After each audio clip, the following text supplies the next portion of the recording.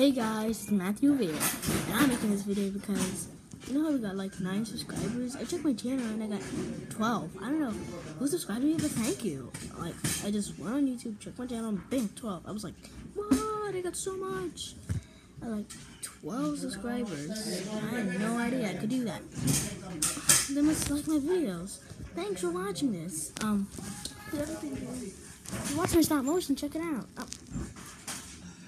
Yeah, it's actually pretty funny and crazy too. I got the Mark 43 45 here.